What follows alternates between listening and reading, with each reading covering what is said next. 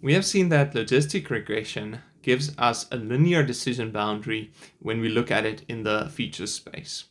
But just as in linear regression, we can actually allow logistic regression to make nonlinear decisions, have a nonlinear decision boundary. And that's what we're going to look at in this video. And again, you probably can guess the answer already. We're going to use some form of basis functions.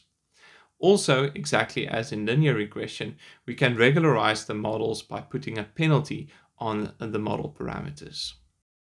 So the procedure for including nonlinearity into the logistic regression model is very similar to what we did in linear regression.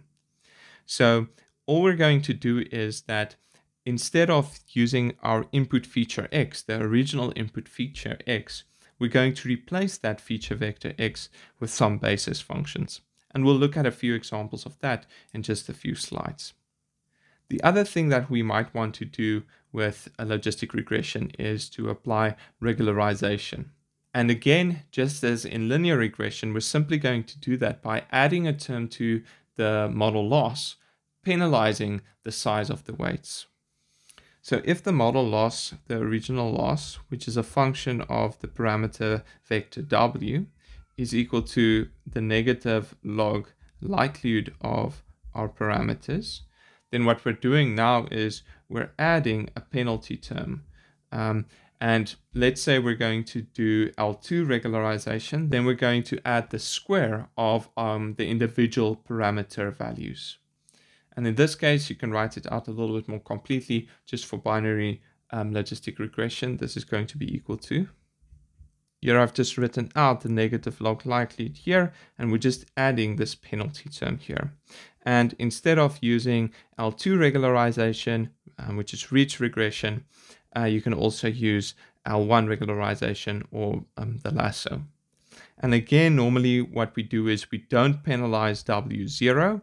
And from the previous um, video, you should maybe have a good idea of why you won't want to penalize the bias term.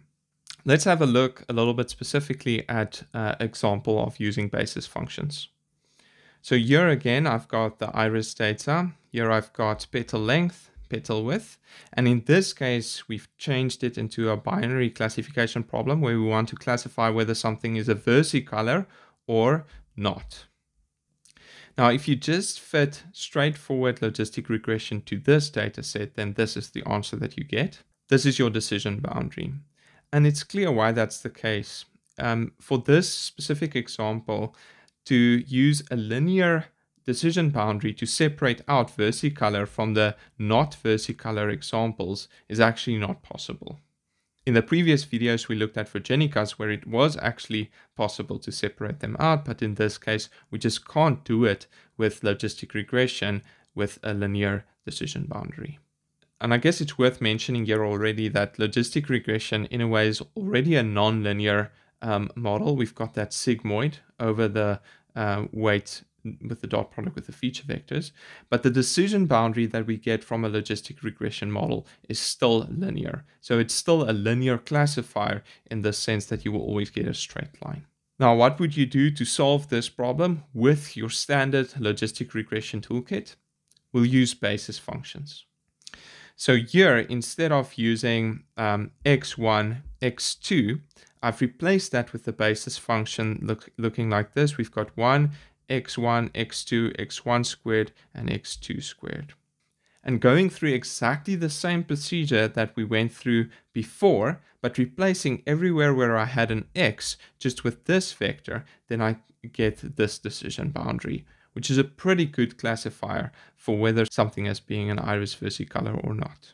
And here again, I visualized the probabilities. So anything with a dark blue is actually a positive and anything in dark red is actually a negative. And here we see that this model very, very clearly is able to uh, correctly classify something as being an iris versicolor or not.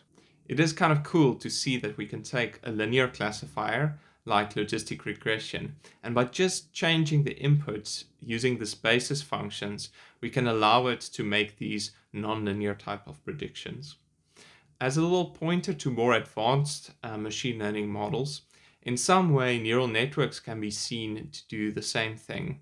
So a neural network trained for classification uh, would look quite similar to a logistic regression model, but internally it would actually learn something that looks like basis functions. It would learn these combinations of the input features, which are useful for making accurate um, predictions. You don't have to worry about that too much. Hopefully we'll get to neural networks in a future video, but just to give you some idea of how we can take these relatively simple ideas that we looked at in this video and extend it to much more advanced machine learning models.